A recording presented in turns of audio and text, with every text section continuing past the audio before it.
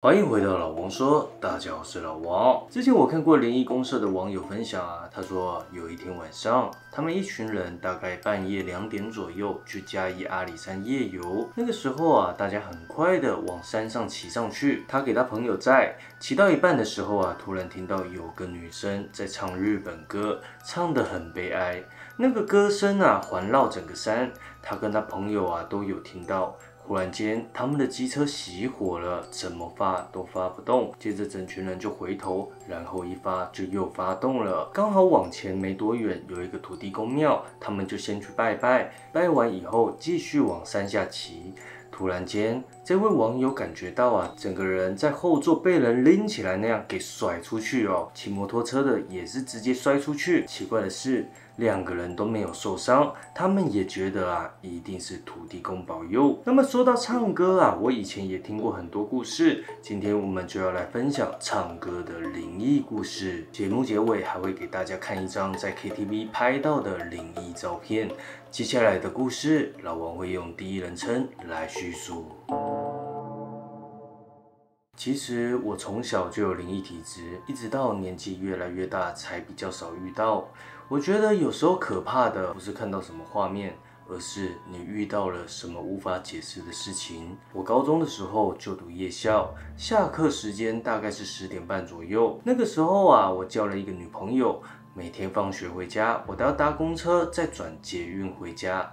有一天，我在捷运站等车的时候，正在跟女朋友讲电话。那个时候啊，没有现在这么方便，没有通讯 APP 可以讲语音电话，所以只能用手机互打。当时最划算的就是亚太电信，因为往内互打不用钱。但是因为捷运上讯号不好，所以我就跟我女朋友说：“车来喽，我先上车，回家再打给你哦。”后来啊，我们就先把电话挂掉。当我到家以后啊，弄一弄，躺在床上，大概也十二点半左右了。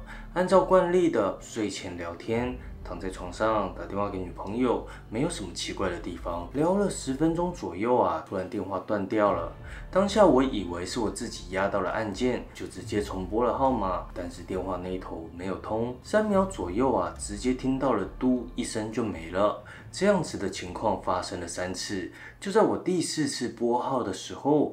听筒里面出现了一首我没有听过的歌。当时的电话都会有所谓的来电答铃，就是打过去会有歌手唱歌，你可以选自己喜欢的歌曲。我女朋友啊就有选一首豆豆龙的歌曲，但是我电话打过去的时候，竟然不是豆豆龙，而是一个女生在唱京剧，还是歌仔戏那种戏曲，声音很高亢，让人听了就发毛那样。我当下哦有一点吓到，马上就把电话给挂了。我心想，我是打错电话吗？不可能啊，我是按快捷键重播哎，还是我女朋友新增歌曲吗？但是这歌也太毛了吧！后来啊，我直接拨了第五通，这一次正常了，是我熟悉的音乐哦。但是响了很久才接起来，我就问我女朋友啊，哎，刚刚是你挂我电话还是我挂到的啊？讲完以后大概五秒啊。我女朋友用一种刚睡醒的声音跟我说：“什么啊？你在说什么啊？刚刚啊，讲电话讲到一半断掉哎。什么刚刚啊？你不是说回到家打给我吗？等你等到睡着哎。我听完以后愣住了一下，说不对啊，我们刚刚聊天聊了十分钟哎。你在做梦吗？哪有啊？就这样，在我一直逼问下，她生气了，因为她觉得我在吓他。拜托，当下傻眼的可是我哎。后来我又问。啊，那你有新增来电打理吗？没有啊，我没有换啊。听到这里，我心中大概知道怎么了，我就跟他聊了一下，之后就挂了电话。这时候的我心中有很多个问号：我刚刚在跟谁讲电话？我刚刚拨电话给谁？还是他只是睡着了，在跟我说梦话？那如果是这样，那首歌曲是怎么回事？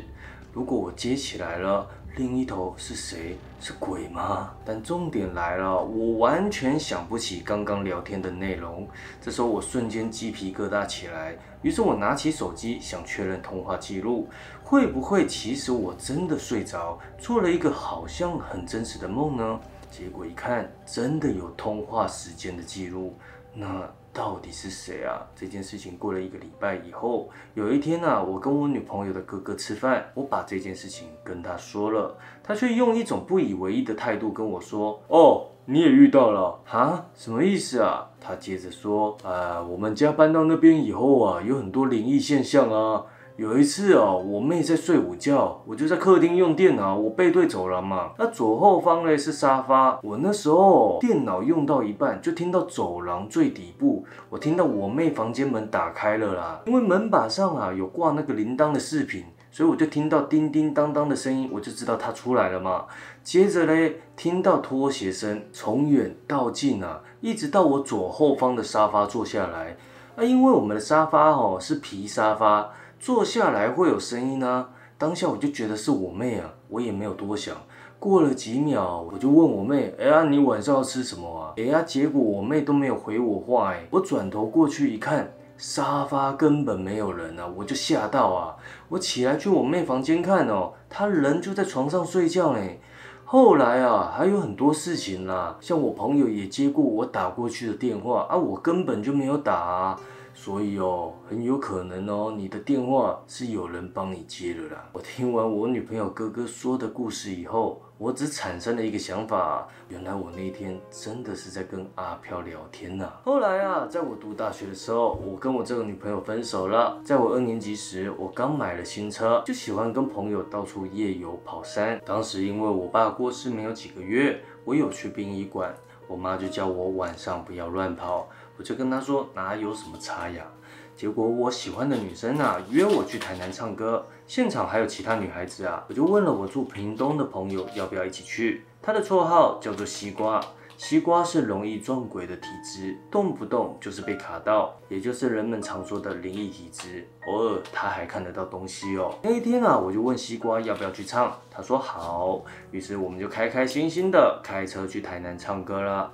因为有很多女生，所以我们唱得很晚，散场的时间是凌晨三点。我们就跟那群女生说拜拜之后，我想说我直接载西瓜回屏东哦，于是我就用 Google Map 导航到西瓜的家，路线规划好以后，直接往西瓜家走。在晚上最好的选择就是开高速公路，但我开着开着，看到前面高速公路封路了，我心想这是怎么回事啊？为什么会封路嘞？但也没有办法，就先下了高速公路。下高速公路匝道的时候，前方显示再开几公里就到月世界。但是从台南到屏东的高速公路为什么会经过月世界呢？我就停在一间加油站的对面找路线。当时手机的讯号很差，只有三 G 而已。车用导航又一直叫我往高速公路走，我就一直用微弱的手机讯号找路线。可是没有办法。只能往月世界。当时啊，我的心理压迫感很重，有一种直觉要我不能去那边，可是没有其他选择，我只能硬着头皮走了。还没有开到那边的路之前，我的车窗全部都是正常的。当我开过去以后，我的车窗全部都起雾，心里的感觉啊也越来越毛了，毛到西瓜的脸都绿起来，跟我说：“呃啊，我们走这边对吗？”我说：“对了，不要怕了，听歌了。”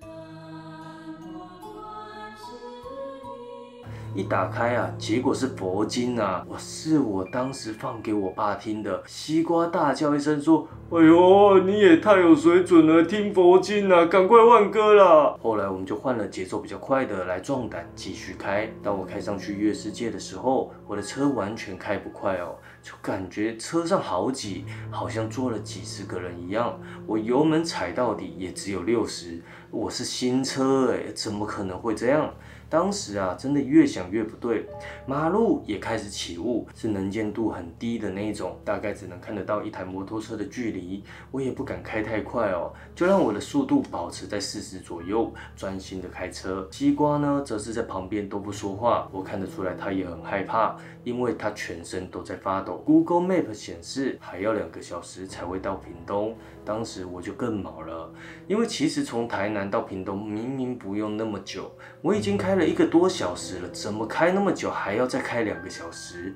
当下我们都快要疯了，车上的玻璃又都起雾，看不到路。我就把驾驶座的窗户打开来看路。哎，突然啊，我看到路边有一间超商，我当下心想，先开去超商，稍微缓一下心情好了。结果一进去，西瓜就说：“我不想上车了，超可怕的。”刚刚哦，我坐在副驾驶座，结果后座一颗头伸出来，一下看我，一下看你，然后引擎盖一个一直趴着在看你啦。啊，最可怕的是啥？你车窗边就有一个，然后嘞，你打开车窗要进来超商，他刚好就顺势探头跟你大眼瞪小眼，我真的会吓死了。我就跟他说，哭哦。好可怕啊！现在怎么办啊？接着我忽然想到，我有一个朋友是鸡头，虽然没有试过，但是不晓得啊有没有可能可以远端驱邪。我就打电话给他，我跟他说了所有情况以后，就问他，哎啊，这样可以远端驱邪吗？他说你会不会想太多啊？这是要怎么远端驱邪啦？我当下超级傻眼，我就唱歌而已，怎么这一堆会跟过来啊？我那鸡头朋友才说。哎呀，不然你开视讯我看看啦。然后他看完之后问我：“你最近是有去哪边吗？”我就跟他说：“没有啊，我爸过世，我去殡仪馆啊。”他就说：“啊，那难怪哦，好像是从殡仪馆跟你跟到这边的呢，应该是觉得你能帮到他们呐。啊，你这样吧，我这边帮你跟神明烧香哦。啊，你自己对着空气，有诚意的跟他们说，请他们去找真的能帮忙的，毕竟你只是个学生。然后看要不要买一包烟，请他们抽啦。”后来我挂掉电话以后，我就去买烟了。我先把烟点了，然后对着空气说：“不好意思哦，啊，我只是一个学生呐，帮不上你们。如果真的要找人帮忙，我有一个教授啦，杨萧和，他很厉害哦，每次都不让我过。你可以去找他，而且他很热心呐，他就住在那个某某大学的教师宿舍二楼。不要再跟着我了，拜托，谢谢，谢谢。然后我就把烟摆着，摆好以后，我朋友刚好打来说他烧好香了，我就说好。接着我们就休息一下，差不多就把烟蒂拿去丢了。当时的时间已经快要五点了，于是我重新出发。后来开车超级顺，也没有起雾了，顺利的送了西瓜回家以后，我也开车回到我高雄的家。当我抵达我家停车场的时候，时间已经是早上七点多了。我下了车，锁好车门，咔的一声哦，我的后车厢自己打开了。我当时在停车场哦，我确定我没有按到，因为我的手指是勾着最上面的钥匙圈，不存在压到按钮的事情啊。这时候我满脑子各种画面哦，该不会后车厢躲一个什么东西吧？虽然这样子想哦，但我还是要去面对现实，我还是得要去把后车厢给关起来。当我一走过去，我傻眼了。因为我后车厢里面竟然有一袋冥纸，我才想到好像是我爸出殡的时候我放的，我忘记拿去烧了。这也让我想到啊，怪不得那些阿飘要跟着我啊。后来呢，我就找地方把这些冥纸给化掉，之后就再也没有遇到什么怪事了。那么稍早啊，有跟大家说 KTV 灵异照片，这张照片呢是灵异公社的社员所拍到的。他说。当时他们喝酒，想说加一些话没有，于是拿起包厢的电话拨出去，对方说好，没问题，结果没有来，又拨了一次啊，对方又说好，没问题，结果一样没来，就这样拨了四次哦。这个社员呢受不了，出去问，这服务生才说。呃，不好意思哦，我们目前电话有问题，没办法接电话哦。之后有需求，请按服务铃哦。这时候包厢内的人听到啊，都觉得很毛，但没想到隔天看到手机里的照片，才真的觉得毛。接下来老王给你看灵异照片。